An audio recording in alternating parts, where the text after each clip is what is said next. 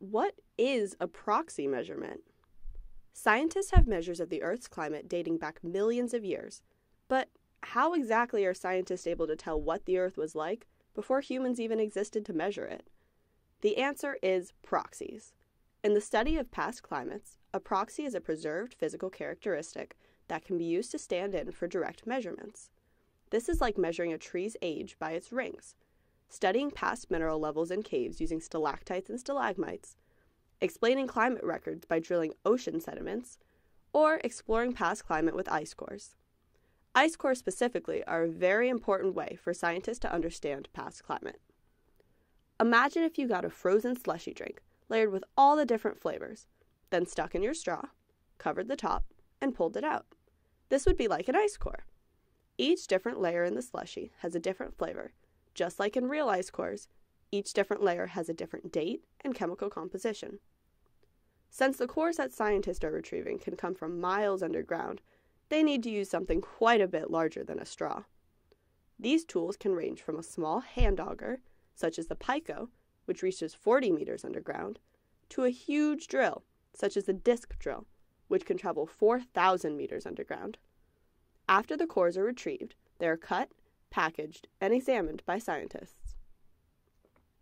While examining the ice cores, researchers are looking for changes in colors, density, porosity, and chemical composition between the layers of ice.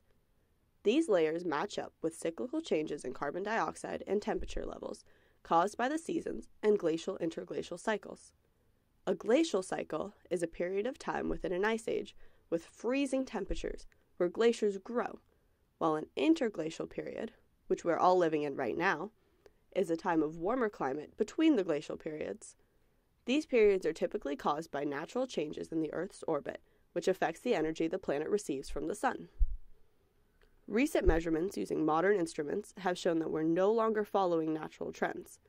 Since the Industrial Revolution in 1760, human activities have had an effect on observed temperature change, for hundreds of thousands of years, carbon dioxide levels ranged from 280 parts per million during warm interglacial periods and 180 parts per million during cold glacial periods, until 1950, when carbon dioxide broke 280 parts per million for the first time in recorded history.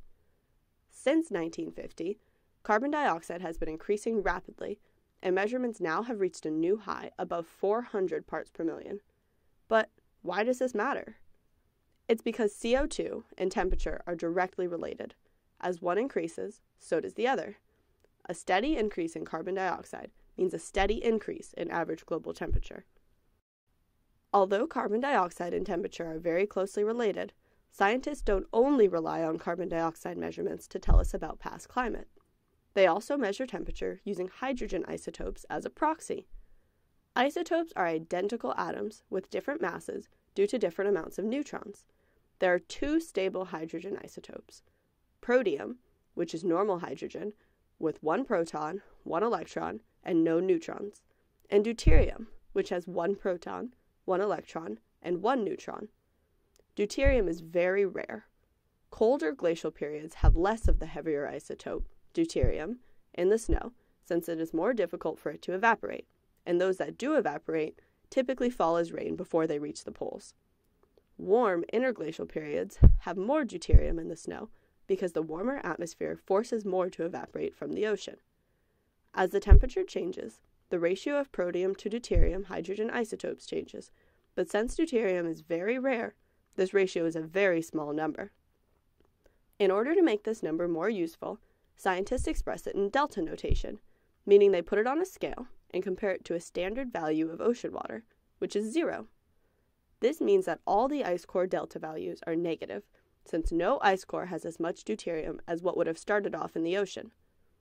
Over time, scientists have been able to fine tune their studies and relate isotopic delta values to exact temperature measurements, with very negative delta values meaning colder temperatures, and less negative delta values meaning warmer temperatures.